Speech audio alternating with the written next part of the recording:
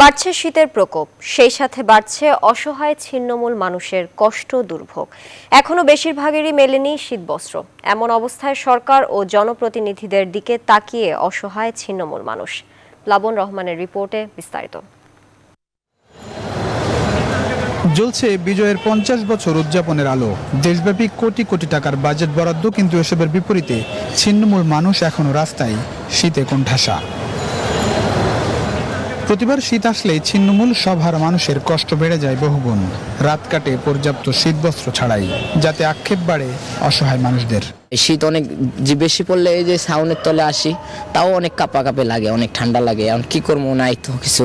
শীত লাগে বেশি কোনো উন্নতি হয় বয়সের টকবগে এই তরুণ কিন্তু টাইফয়েড কেড়ে নিয়েছে স্বাভাবিক জীবন। শীতে জড়সড় হলেও দেখার যেন কেউ নেই। শীত বাড়লেও এখনও তাই জোটেনি শীতের কাপড়। রাস্তায় বেরো দাঁড়ানো লাগে বিক্রি করা লাগে। আগে তো যার মতো কোনো রুগী দেই না। পৌষের প্রথম দিকেই সারা দেশে জেকে বসেছে শীত। দেশের বিভিন্ন অঞ্চলে পৌঁছে শৈত্যপ্রবাহ।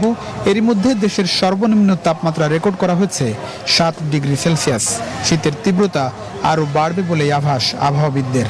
তখন এই জনগোষ্ঠীর কষ্ট বাড়বে বহুগুণ। ভাবলে কেউ থাকলে যা উঠে এমন ঠান্ডা শীত এমন কোটি কোটি টাকার বাজার তো নেতা কর্মীরা গায়ে লাগে যদি একটা তাহার মতো একটা ব্যবস্থা রইত তেই চল লইলে কাজকর্ম করিয়া ঘুমাই লইলে। স্বাধীনতার পঞ্চাশ বছরে বাংলাদেশ তথ্য বলছে যেখানে দিন দিন বাড়ছে বৈষম্য তাই সবার আগে এসব মানুষদের নিয়ে ভাবার আকুতি ভুক্তভোগীদের। প্লাবন রহমান নিউজ টোয়েন্টি ঢাকা।